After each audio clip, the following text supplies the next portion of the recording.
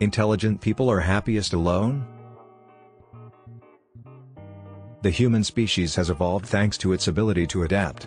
Millions of years of natural selection have erected our bodies and developed a piece of fascinating machinery orchestrated by a brain that never stops asking questions.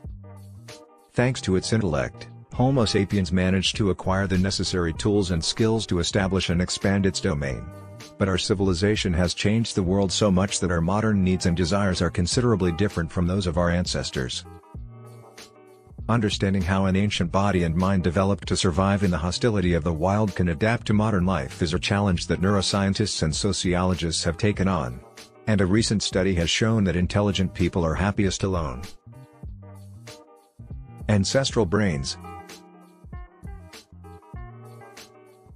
The human brain has evolved to adapt to the ancestral wild environment, not necessarily to modern stimuli and way of life.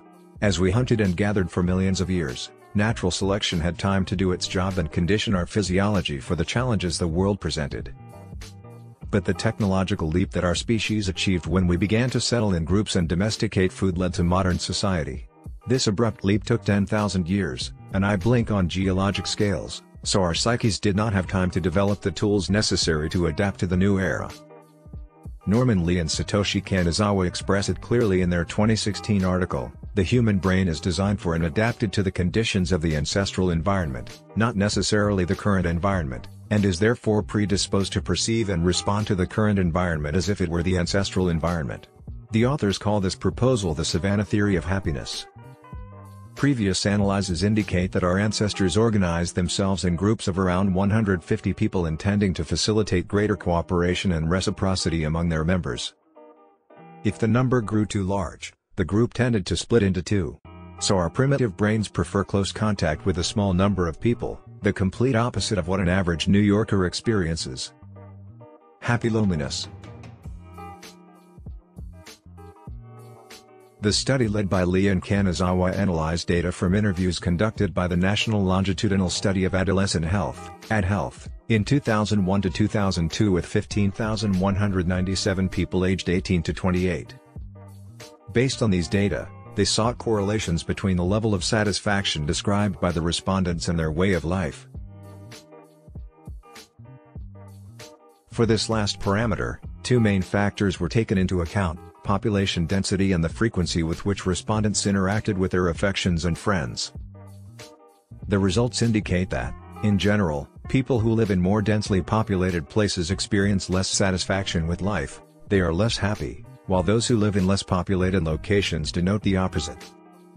This fact is related to the fact that people who live in denser areas tend to have more standard ties and those who live in areas with less population density have fewer ties, but these tend to be stronger.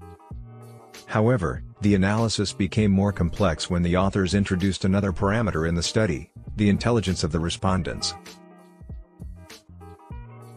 The survey carried out by Add Health contemplated this parameter and evaluated the intellectual capacity of individuals based on their results in the Peabody Picture Vocabulary Test. The data suggests that the most intelligent people break the average trend, instead of feeling happier with the protection and warmth provided by a human group, they report feeling more comfortable in solitude. Paradoxically, these people tend to be sociable and enjoy interacting with large groups, although without going too deeply into the bonds.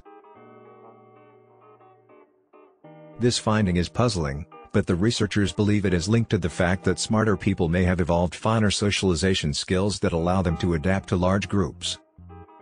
In the same way, their individual survival skills could have stood out above average, allowing them to enjoy solitude.